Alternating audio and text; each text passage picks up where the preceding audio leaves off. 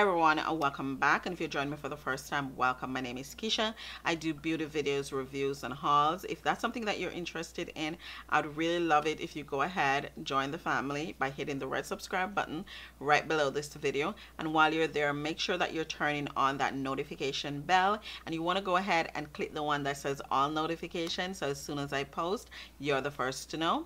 Now let's get into this video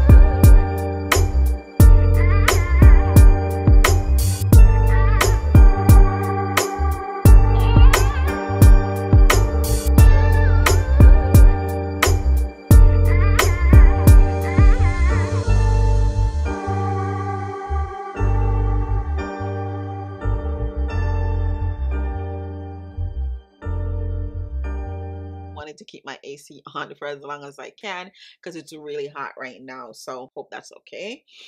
So I picked up two things from Charlotte Tilbury. I have their bronzer right here, which is like so hot right now on YouTube.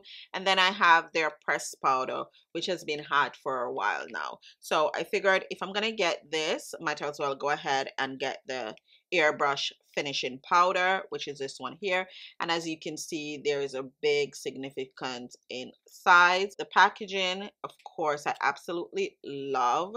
Think it's so classy and looks so high-end which you know it is a high-end brand. This is the pressed powder. I absolutely love this packaging. It looks just so sophisticated. You are going to get some fingerprints on it but something that can be clean off really easily. So i got my powder in medium which is a number two. I figured this would be perfect. It does look a little bit white in the pan but it's supposed to be a translucent powder so hopefully it doesn't translate too ashy on my skin tone. And then here is the star of the show, the bronzer. This is the packaging for the bronzer. It's like a like a clamshell, I want to say. I got mine in the number three, which is a tan. Let me just go ahead and open it. Look at that. I don't want my bronzer to look like a contour, so I thought this one would be the perfect match hopefully really really beautiful and looks really elegant and expensive because it was. This was like $55 I want to say. I'll link it somewhere in the video. I think the powder is a little bit less than the bronzer. Let me see that. You know the the size difference um right there. So I'm going to use the press powder first. So I'm just tapping into it I'm getting a little bit of kick up from it. I don't know if you guys can see right there.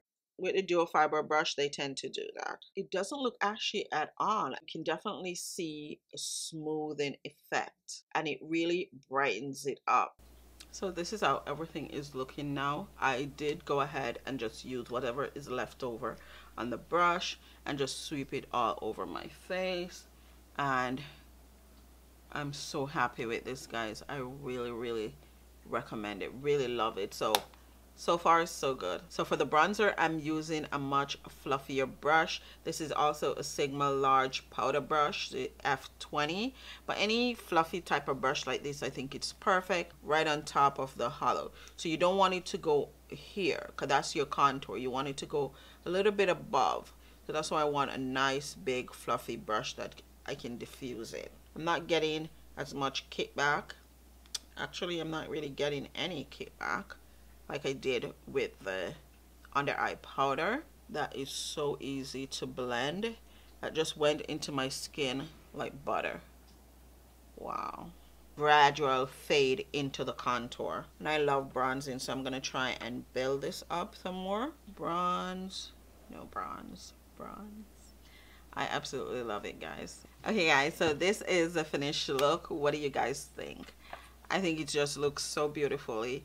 Both powders work really well together and I just love it. So happy with the finished look. Can't stop looking in the rear view mirror because I just think my skin just looks so nice, so bronze, so golden. Like I absolutely love it. This makeup look is perfect for summer. For highlighter, I use the Fenty Duo highlighter and I'm using um, Ginger Binge. It's a much more subtle than Moscow Mule and it goes perfectly with this bronzer because this bronzer is not like boom in your face. It's really subtle, looks really natural. Like if you stay out in the sun, this is how bronze the sun is going to make your skin looks and I love that about it it's not the cheapest of bronzer i'm not gonna lie it's you know it's really up there but that's what this brand is it's a high-end brand so if you want to shop from this brand you kind of have to expect that you're gonna pay a little bit more than what you normally pay but guys you're not gonna be disappointed. I have tried the fenty bronzer but it was a little bit too red if you guys haven't seen it